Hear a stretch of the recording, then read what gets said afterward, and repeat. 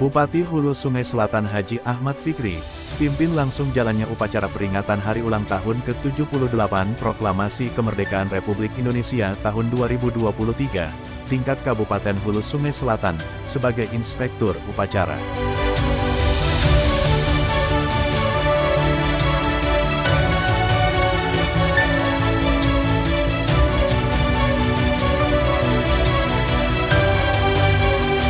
Bertemakan terus melaju untuk Indonesia maju, puncak peringatan hari ulang tahun kemerdekaan Republik Indonesia ke-78 tingkat Kabupaten Hulu Sungai Selatan ini, ditandai dengan pengibaran Sang Saka Merah Putih.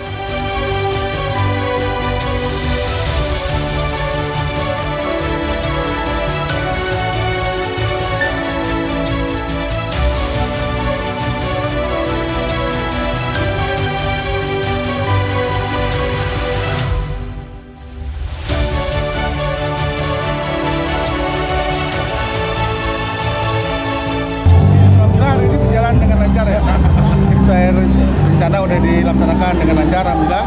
Makasih dulu kepada semua yang terlibat dalam persiapan dan pelaksanaan upacara 17 yang ke-78 ini. Mudah-mudahan semangat perjuangan terus bisa kita wariskan kepada generasi muda kita. Perjuangan untuk merebut kemerdekaan usia 78, sekarang kita mengisi dengan pembangunan kan secara hakiki kemerdekaan itu kan apa mensejahterakan masyarakat. Mari semua program kita kita arahkan untuk kesejahteraan masyarakat. Termasuk hari ini PT Antang menggunakan satu bus. Ini akan kita serahkan nanti ke daerah Dahar karena di sana sangat butuh. Kenapa busnya yang agak setengah? Karena di sana jalannya kecil.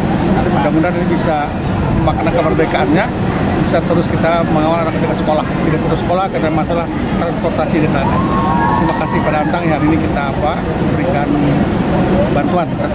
Hari ini ada satu kita berikan penghargaan kepada para Korko dan lembaga yang selain di kita. Insya Allah yang lain kita akan penghargaan juga pada waktu ini. Ya.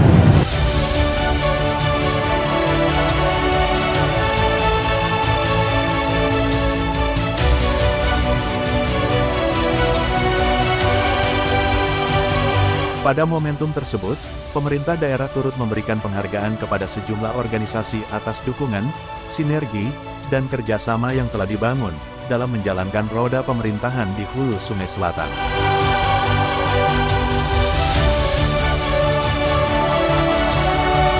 Tim Liputan HSS TV melaporkan.